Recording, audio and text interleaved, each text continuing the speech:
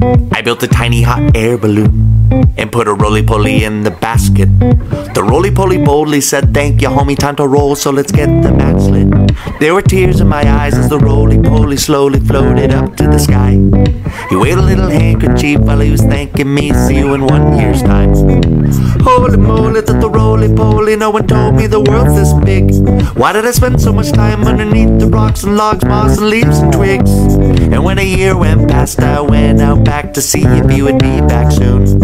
And to my surprise, the sky was filled with a million other roly poly balloons.